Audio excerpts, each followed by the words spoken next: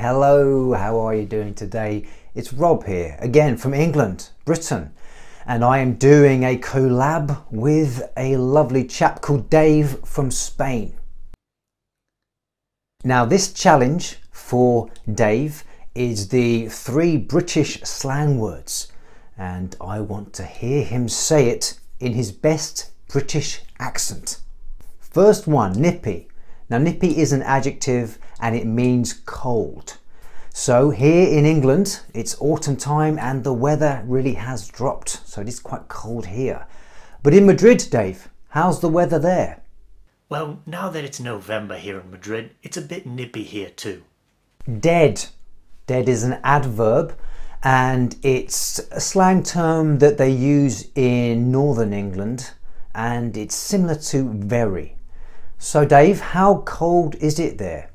It's dead cold. Footy. Footy's a noun and it's a slang for football. And of course, the World Cup is about to start and it certainly won't be nippy in Qatar. Um, are you a footy fan, Dave? I wouldn't miss the Footy World Cup for anything, especially since Spain are going to win it. Well, I'm sure Spain will get to the final, where they'll meet England and lose.